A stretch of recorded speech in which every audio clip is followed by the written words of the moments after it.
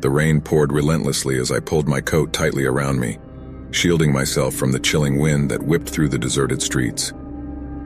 Seeking refuge from the storm, I stumbled upon the Grand Manor, a majestic yet eerie luxury hotel that stood as a lone sentinel in the darkness. Curiosity piqued, I pushed open the grand oak doors, revealing a vast, dimly lit lobby adorned with exquisite chandeliers and opulent furnishings. The scent of aged wood and musty air lingered, permeating the space. I approached the front desk where a disheveled concierge greeted me with hollow eyes. Welcome to the Grand Manor, he whispered, his voice barely audible above the sound of raindrops pelting the windows. We've been expecting you. Startled, I stuttered, how did you know? Ignoring my question, he handed me an ornate, tarnished key. Room 666 awaits you. Do enjoy your stay. Unease gnawed at my core as I ascended the creaking staircase, the steps groaning beneath my weight.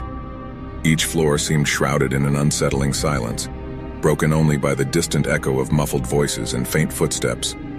Upon reaching the sixth floor, I found room 666, its heavy oak door standing ominously before me.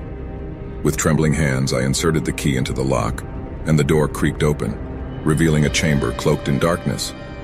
A flickering lamp cast eerie shadows on the faded wallpaper, giving the room a surreal, nightmarish quality. A shiver ran down my spine, but I couldn't resist stepping inside.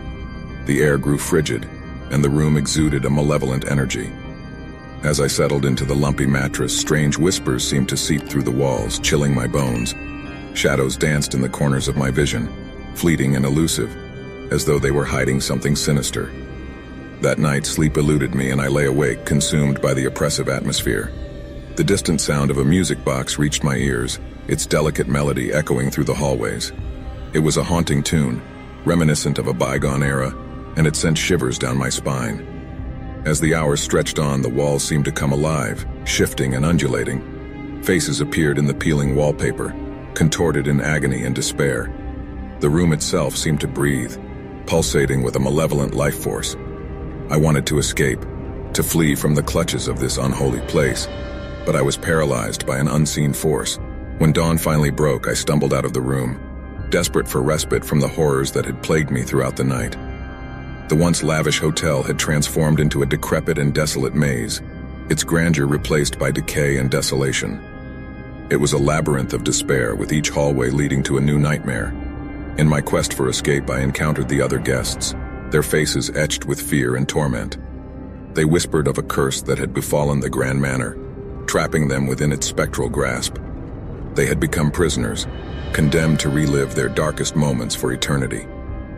Together, we navigated the hotel's treacherous corridors, hoping to find an exit, but it seemed that the hotel was determined to keep us captive. Doors vanished, hallways twisted and turned upon themselves, confounding our efforts. The walls seemed to close in, suffocating us as we descended into madness. Days turned into weeks, and weeks turned into an interminable nightmare. The line between reality and hallucination blurred as the hotel fed on our fears and regrets. We were but pawns in its sadistic game, mere playthings for the malevolent spirits that inhabited its walls. My mind is on the brink of insanity, haunted by the torments that lurk within the Grand Manor. I share this tale with you as a warning, a cautionary tale of a luxury hotel turned prison. If you ever find yourself drawn to its elegant facade, I implore you, turn away. For within those walls lies a darkness that cannot be escaped, a darkness that will consume your soul and bind you to its malevolent grip forever.